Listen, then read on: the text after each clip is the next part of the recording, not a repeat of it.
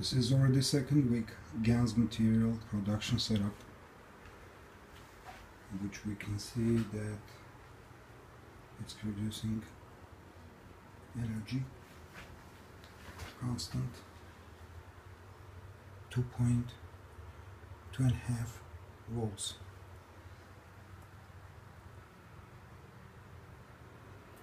And this is my first batch of copper oxide. And I have set up over here one big container with the copper uh, nano coated on the left side and a zinc on the right side. And it's already second week.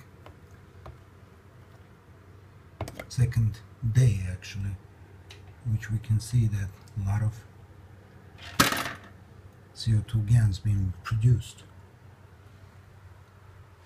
So I think you know bigger containers with one cell it's more efficient production of GANs